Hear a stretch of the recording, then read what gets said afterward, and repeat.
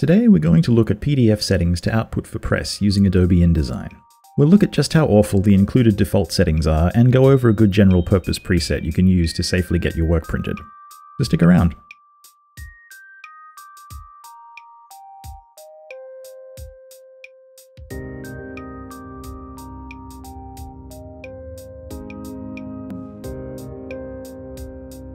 Okay, so let's get right to it.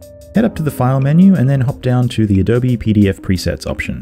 Adobe includes several PDF presets within InDesign. They're the ones in the Adobe PDF Presets menu with the brackets around their names. Understandably, you might think that outputting a PDF for press would involve simply using the press quality preset. But the settings in that preset are so bad that if you send a file to press using them, it would actually be rejected by the printer. If you desperately wanted to output a file using the included settings, you'd have far more success using one of the PDFX options, but not three. However, in the spirit of learn by doing, we're going to create our own preset so that we know exactly what settings are being used in it and why. Click on Define to begin. In the dialog box that opens, click on the New button. This opens the familiar PDF export settings dialog that you get every time you export a PDF.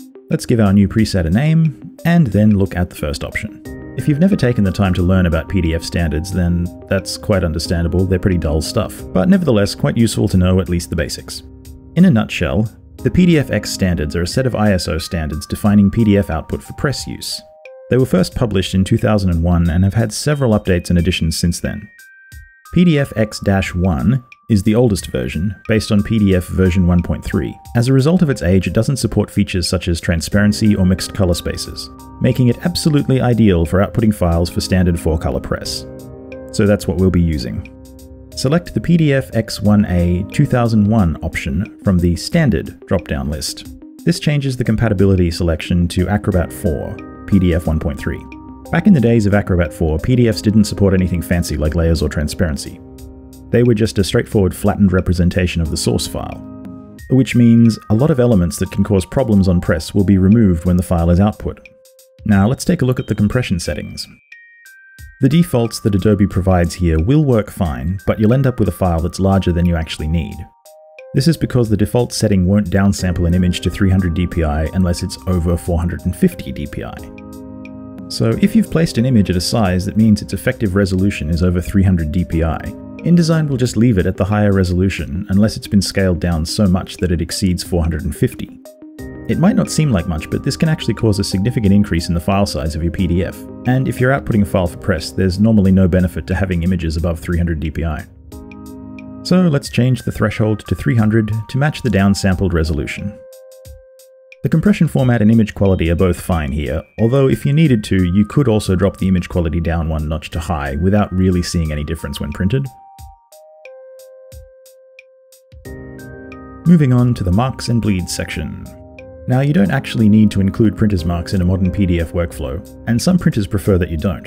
But since we're creating a generic catch-all preset, we're going to just include crop marks to be on the safe side. What is definitely needed is bleed, so be sure to check the Use Document Bleed Settings box. This means that the preset will just output whatever bleed amount has been specified in a given document settings, rather than forcing the same value on every file. And one last nicety is to increase the offset value of your printer's marks, so that the crop marks don't print into the bleed. It's not necessary, but it makes for a cleaner looking PDF file. Output settings can look a little confusing, but they're actually fairly simple. If you look under the color conversion dropdown, you'll find two options, which appear fairly similar. And that's because they are. The long-winded explanatory notes that appear in the description box make it seem as though there are complex differences, but really all it boils down to is how each setting handles CMYK objects. Firstly, both convert to destination options will convert any RGB colors to CMYK, so make sure you use one or the other for press output. The no color conversion option is more of a specialized setting and not really suitable for a general purpose preset.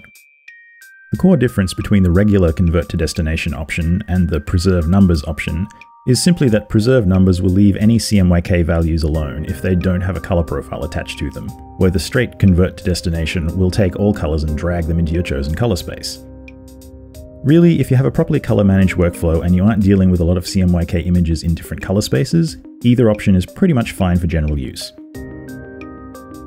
Depending on your preference and workflow, you can just leave the destination setting at the default working CMYK option, which will use your application color settings for output.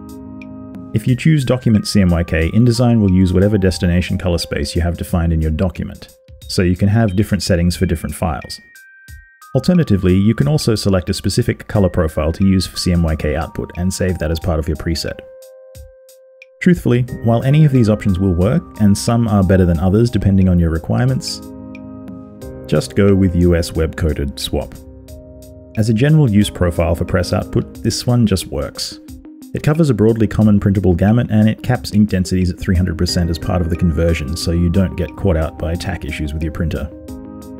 And finally, one last setting to check is to make sure you set the transparency flattener to high resolution. Since the whole point of this preset is to produce a file with all the transparency flattened to simplify printing, it's kind of important. And check ignore spread overrides so you don't get caught out by a random setting change in your document. And really, that's about it. Hit OK to save your settings, and your new preset will now appear in the File menu under the Adobe PDF Presets flyout. Please do remember that even though these settings have been used to send thousands of pages to print over more than 10 years without any problems, they are still generic settings and you should always check with your printer and follow whatever recommendations they give to ensure success. Use at your own risk. Thanks for watching.